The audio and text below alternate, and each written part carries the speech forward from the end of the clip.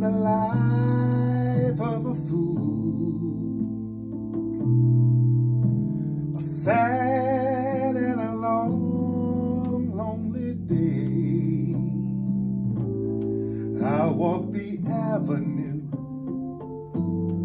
and hope I'll run into the welcome sight of you coming my way.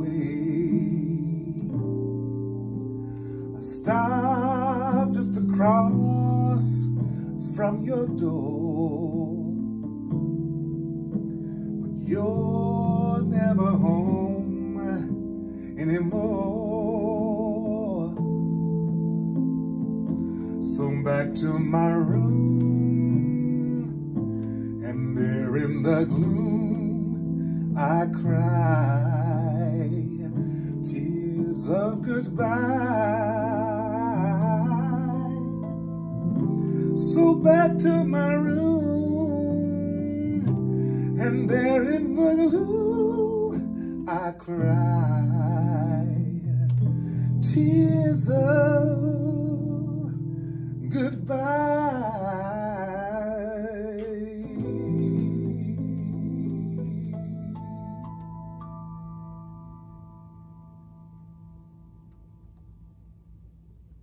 Hey everybody, and welcome back to Vinyl Talk with Tavis.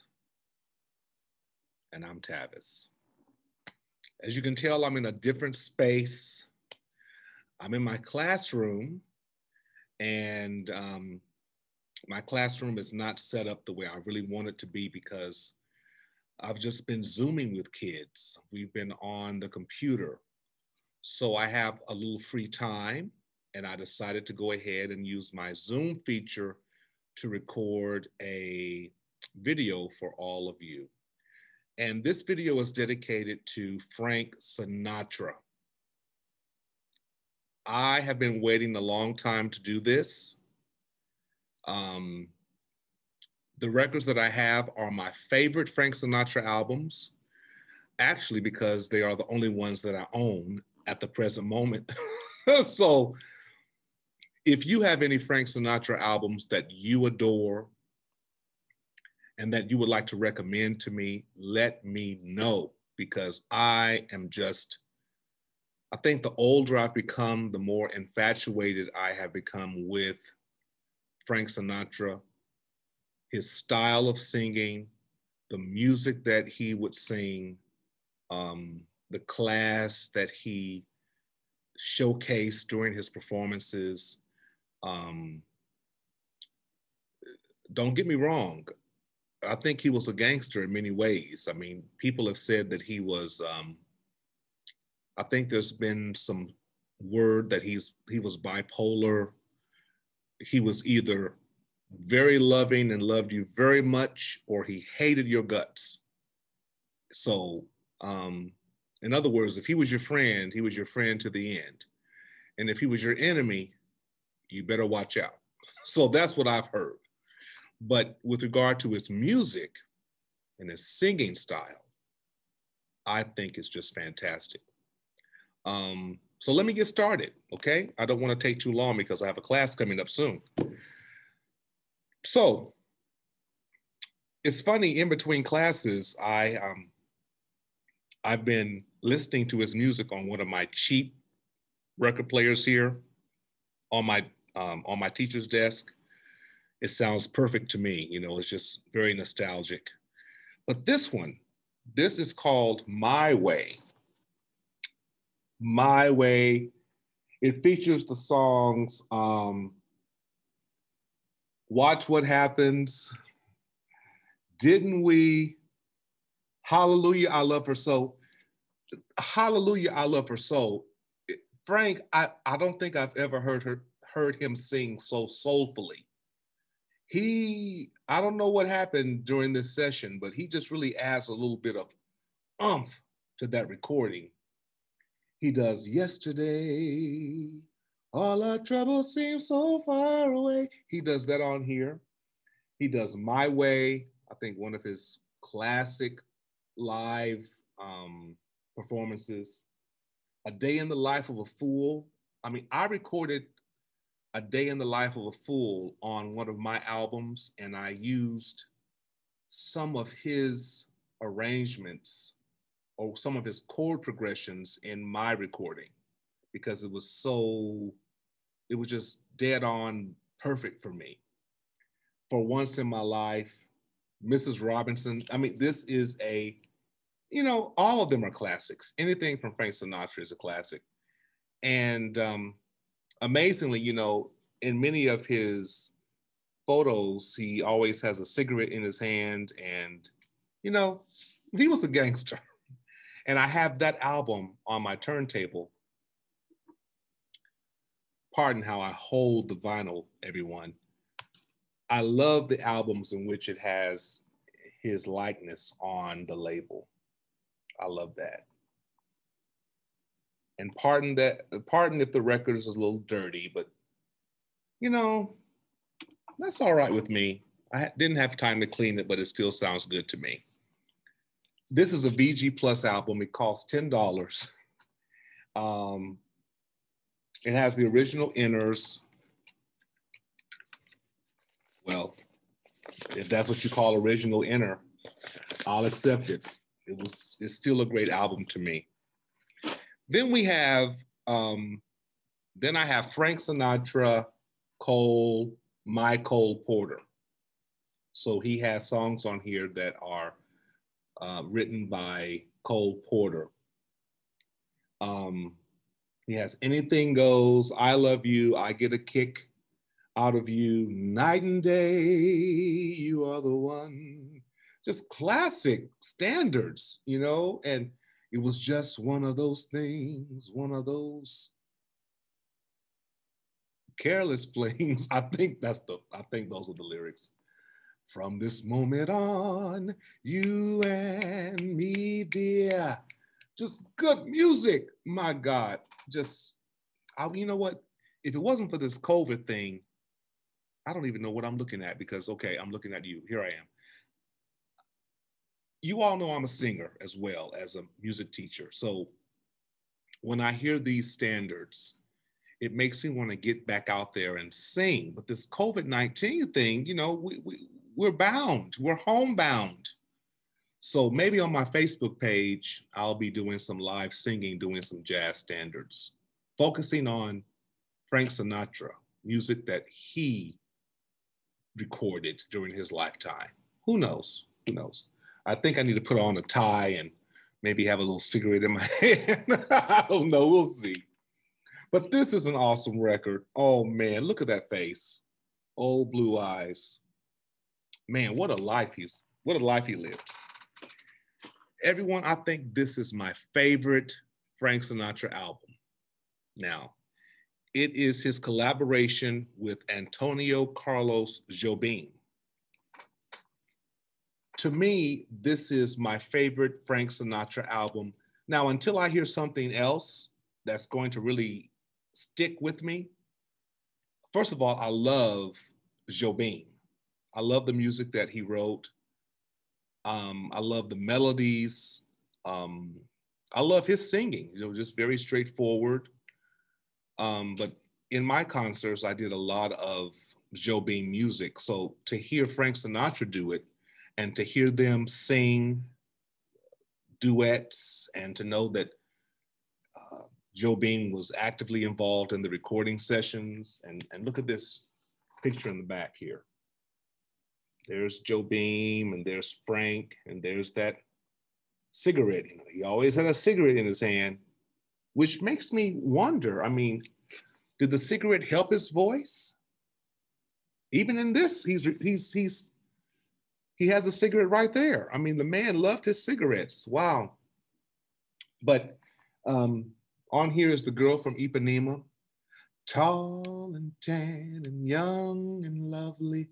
The girl from Ipanema goes walking, and when she passes, each one she passes goes, ah. I mean, oh man, that's just classic stuff.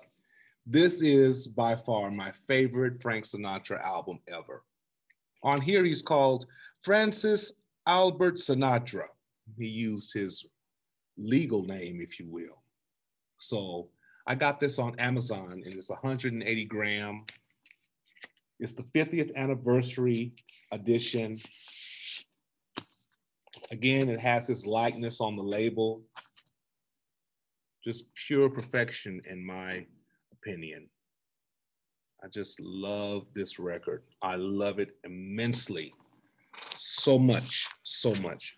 Now, everyone, this particular Frank Sinatra album, um, this is a Japan issue, a 1985 Japan issue, and it is, um, I believe it's a compilation. It doesn't say here. Let me check and see here. It has its original inserts here. Wow, look at that. In Japanese. I got this here um, at um, Mills Records here in Kansas City. And one thing I can say about Japanese pressings, they're just, they're perfect to me. I mean, this is just, and this was only, this was $13. There are 10 songs on each side. Look at that. And this is a very great, high quality sounding album from Japan.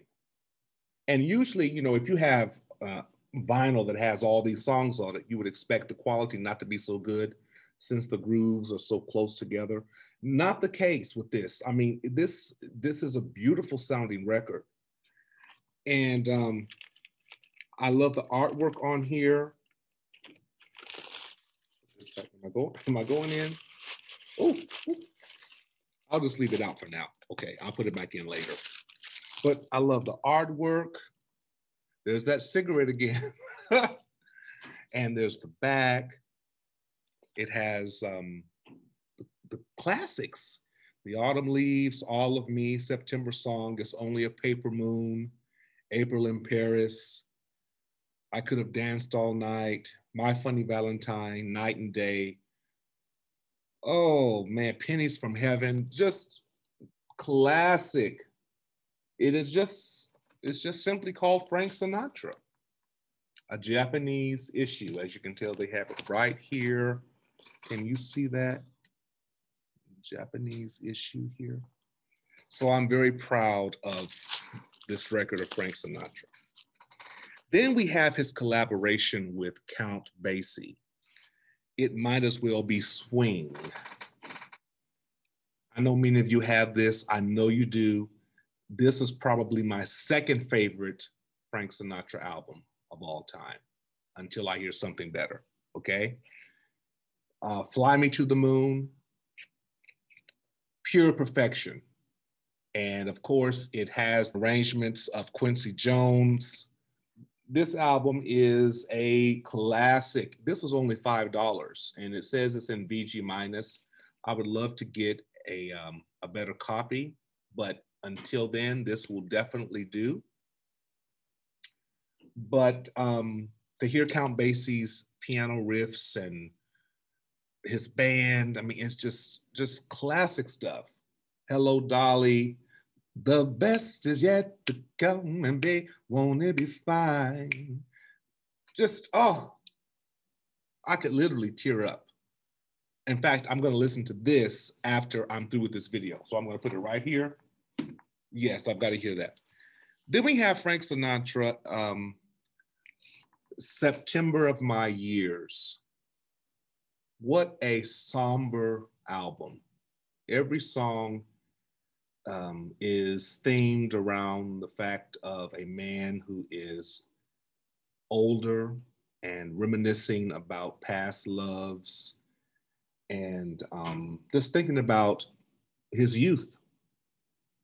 And um, I, I, just think that's a, a beautiful, beautiful album theme for Frank Sinatra at this time. The songs include September of My Years, How Old Am I? Don't wait too long. It gets lonely early. I mean, just just the titles alone are just like fascinating. This is all I ask. Last night when we were young, it was a very good year. Oh, it was a very good year. Hold on, I'm having a moment. Let me have a piece. Let me have a piece. Let me have a drink of this Red Bull.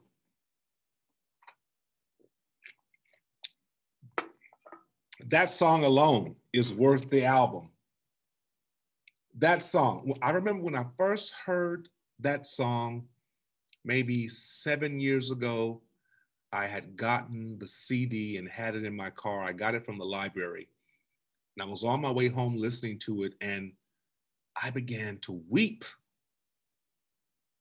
because I had never heard that song before. And the message is just phenomenal. You know, he's thinking about when he was a teenager, in his 20s, in his 30s. He talks about the loves in his life and the, the things he went through. And oh, man, that song is amazing. Whoever wrote that song, I mean, they don't write music like that anymore. Um, Hello, Young Lovers, Once Upon a Time, just great titles. This is a wonderful album, just wonderful. September of my years. Now, this, this is a very upbeat record. This is the last one I want to show. Come Dance With Me. This is a classic as well. You know, every song is upbeat, makes you feel good, makes you want to dance. Hence the title, you know. Um, it has songs like um, Something's Gotta Give, Just in Time, Dancing in the Dark, Too Close for Comfort, Day In, Day Out. Oh, just, oh man. I just love, look at that hat. I mean, I would buy another copy of this just to hang this in, not my room, but I would put it in my house. I would hang it up. Man, what a life. Old blue eyes. Man. Well, everybody, if you have a favorite Frank Sinatra album, please uh, put it in the comments below. I would be very anxious to hear what you like so that I can hopefully get it as well. But Frank Sinatra is, to me, the ultimate class act. Um, if I'm not mistaken, I believe he even gave some tips on how his voice was maintained. I think he did a lot of swimming, which helped to expand his lungs to breathe and, and hold notes. I think I read that in a book somewhere when I was in college because someone told me that if I wanted to do a record or if I ever wanted to record, they wanted me to listen to Frank Sinatra. And that's exactly what I did when I did my um, my last secular album called Love Confessions because I did Autumn Leaves and I did um, A Day in the Life of a Fool using Frank Sinatra's arrangements, but I kind of made it soulful still.